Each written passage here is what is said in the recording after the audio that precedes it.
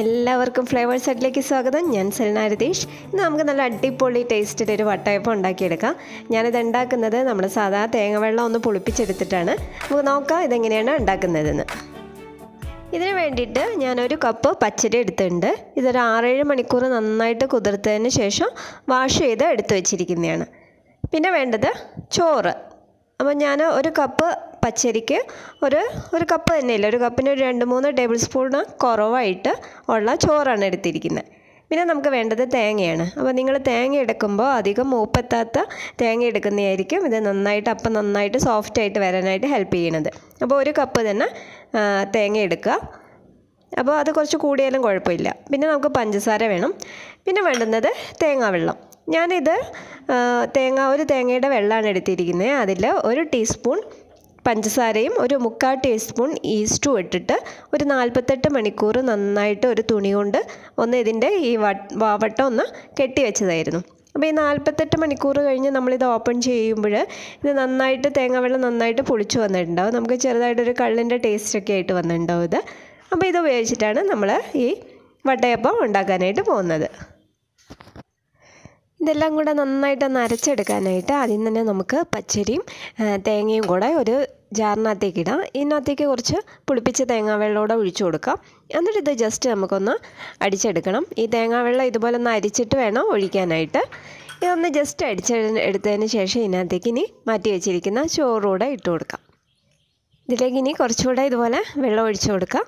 നിങ്ങൾ ഈ പുളിപ്പിച്ച തേങ്ങാ തേങ്ങാവെള്ളം തീർന്നു കഴിഞ്ഞാൽ നമുക്ക് സാധാ തേങ്ങാവെള്ളം വേണമെങ്കിൽ ഒഴിക്കുക അല്ലെങ്കിൽ കുറച്ച് പച്ചവെള്ളം ഒഴിച്ചു കൊടുക്കാം.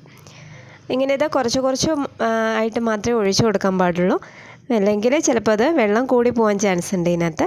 ഇനി നമുക്ക് ഇതിനകത്തേക്ക് കുറച്ച് പഞ്ചസാര ഇട്ട് കൊടുക്കാം. ഞാനൊരു നാല് ടേബിൾ സ്പൂൺ പഞ്ചസാര ഇടുന്നുണ്ട്. നിങ്ങളെ മധുരത്തിനനുസരിച്ച് പഞ്ചസാര ഇട്ട് കൊടുക്കാം. പഞ്ചസാര ഇട്ട് നന്നായിട്ട് നല്ല പേസ്റ്റ് പോലെ അടിച്ചെടുത്തതിന് ശേഷം നമുക്ക് ഇതിനകത്ത് എത്രത്തോളം വെള്ളം ഒഴിക്കണം എന്നുള്ളത് നോക്കാം. ഇപ്പോൾ ഇത് അത്യാവശ്യം ഒന്ന് ലൂസായിട്ടാണ് കിടക്കുന്നത്. നമുക്ക് കുറച്ചുകൂടെ ഒന്ന് വെള്ളം ഒഴിച്ചു കൊടുക്കാം അതിനകത്തേക്ക് നമുക്കൊരു ഇഡ്ഡലി മാവിന്റെ ആ ഒരു പരുവത്തിൽ വേണം ഇത് കിട്ടാനായിട്ട്. ഒരുപാട് അങ്ങ് ലൂസായി പോരുത്. വല്ലാണ്ട് കട്ടിയായും പോരുത്. അപ്പോൾ ഞാനത് കുറച്ചുകൂടെ വെള്ളം ഒഴിച്ചിട്ട് ഒന്ന് ലൂസാക്കി എടുക്കുകയാണ്. അതിനുശേഷം നമുക്കിതൊരു വേറൊരു പാത്രത്തിലേക്ക് ഒഴിച്ചെടുക്കാം. അത്യാവശ്യം സൈസുള്ളൊരു പാത്രത്തിലേക്ക് വേണം നമ്മൾ നമ്മളിതിങ്ങനെ ഒഴിച്ചെടുക്കാനായിട്ട്. അല്ലെങ്കിൽ ചിലപ്പോൾ ഇതിങ്ങനെ പതച്ച് പൊങ്ങി വരുമ്പോൾ പുറത്തേക്ക് ഒഴുകി പോകാനുള്ള സാധ്യതയുണ്ട്. ഇതിന് നമുക്ക് നന്നായിട്ട് ഇളക്കി കൊടുക്കാം. ഈ ഒരു ടൈറ്റിൽ വേണം നമ്മളിതിങ്ങനെ റെഡിയാക്കി എടുക്കാനായിട്ട്. ഇനി ഇത് നന്നായിട്ടൊന്ന് പതച്ച് വരാനായിട്ട് നമുക്കൊരു അഞ്ചെട്ട് മണിക്കൂർ ഇതൊന്ന് മൂടി വയ്ക്കണം അപ്പോൾ മൂടി വെച്ചിട്ട് നിങ്ങൾ അത്യാവശ്യം ചൂട് കിട്ടുന്ന സ്ഥലത്ത് വെക്കുക. ഇത് നമ്മൾ കുക്ക് ചെയ്യുമ്പോഴോ ഒന്നെങ്കിൽ അതിന്റെ സൈഡിൽ വെക്കുക. അല്ലെങ്കിൽ ഞാനിപ്പോൾ ഇത് ഒരു പാത്രത്തിൽ വെള്ളം തിളപ്പിച്ചെടുത്തിട്ടുണ്ട്. അതിന്റെ മേലെ ഇതുപോലെ ഒരു റിങ് വെച്ചിട്ടാണ് ഈ മാവ് വയ്ക്കുന്നത്. അപ്പോൾ ഒരു അഞ്ചെട്ട് മണിക്കൂർ കഴിയുമ്പോഴേക്ക് ഇത് നന്നായിട്ട് ഇപ്പോൾ പതച്ച് വന്നിട്ടുണ്ടാവും. ഒരു എട്ട് മണിക്കൂറിന് ശേഷം ഞാനിത് ഓപ്പൺ ചെയ്തെടുക്കുകയാണ്. ഇതിപ്പോൾ നന്നായിട്ട് പതച്ച് പൊങ്ങി കിടക്കുന്നുണ്ട്. ഇതിനകത്തേക്ക് നമുക്ക് ഇനി ഒരു കാൽ ടീസ്പൂൺ ഏലക്ക പൗഡർ ഇടണം. ഒരു രണ്ട് മൂന്ന് ഏലക്ക ഒന്ന് പൊടിച്ചെടുത്താൽ മതി. ആ ഏലക്ക പൗഡറും ആവശ്യത്തിനുള്ള ഉപ്പൂടെ ഇട്ടിട്ട് നമുക്ക് ഇത് നന്നായിട്ടൊന്ന് ഇളക്കി യോജിപ്പിച്ചെടുക്കാം. നമ്മൾ നേരത്തെ ഇതിനകത്തേക്ക് ഉപ്പിട്ട് വെച്ച് കഴിഞ്ഞാൽ ചിലപ്പോൾ ഇത് നന്നായിട്ട് പൊളിച്ചു പോകും. അതുകൊണ്ടാണ് ലാസ്റ്റ് മാത്രം ഉപ്പിടുന്നത്. ഇനി നമുക്കിത് വേവിച്ചെടുക്കണം. അതിന് വേണ്ടിയിട്ട് ആദ്യം തന്നെ നമുക്ക് കുറച്ചൊരു അണ്ടിപ്പരിപ്പും മുന്തിരിയും ഒന്ന് റോസ്റ്റ് ചെയ്തെടുക്കണം. അതിന് വേണ്ടിയിട്ട് ഞാനൊരു പാൻ ചൂടാക്കി അതിനകത്തേക്ക് കുറച്ച് വെളിച്ചെണ്ണ ഒഴിച്ചു കൊടുക്കുകയാണ്. നിങ്ങൾക്ക് വേണമെങ്കിൽ നെയ്യ് ഒഴിച്ചു കൊടുക്കാം. എന്നിട്ട് ഇതുപോലെ മുന്തിരി ഇട്ടിട്ട് ഒന്ന് ജസ്റ്റ് കളർ മാറി വരുമ്പോൾ അത് ഒന്ന് കോരിയെടുത്ത് മാറ്റാം അതുപോലെ തന്നെ കുറച്ച് നട്ട്സ് ഇട്ട് കൊടുക്കുക. നട്ട്സും ഇതുപോലെ ഒന്ന് കളർ ചേഞ്ച് ആയിട്ട് വരുമ്പോൾ എടുത്ത് മാറ്റാം. ഇതൊന്നും വല്ലാണ്ട് അങ്ങ് കരിഞ്ഞു പോയത്. ജസ്റ്റ് ഒരു ബ്രൗൺ കളറായിട്ട് വരുമ്പോൾ തന്നെ നമുക്കത് അടുപ്പത്തു നിന്ന് മാറ്റിയെടുക്കാവുന്നേ ഉള്ളൂ. ഇനി നമുക്ക് നമ്മുടെ വട്ടയപ്പം ഒന്ന് വേവിച്ചെടുക്കണം. അതിന് വേണ്ടിയിട്ട് ഞാൻ ഇതുപോലൊരു ഇഡ്ഡലി കുക്കറിനകത്താണ് വെള്ളം വെച്ചിരിക്കുന്നത്. അതിനകത്തൊരു കാൽ ഭാഗത്തോളം വെള്ളം വെച്ചിട്ടുണ്ട്. ഇതൊന്ന് തിളച്ച് വരുമ്പോഴേക്ക് ഇതുപോലുള്ളൊരു കേക്ക് ബേക്കിംഗ് മോൾഡിനകത്താണ് ഞാൻ ഇത് ഉണ്ടാക്കിയെടുക്കുന്നത്. അതിനകത്ത് ആദ്യം നമുക്ക് കുറച്ച് നെയ്യ് പുരട്ടി കൊടുക്കാം.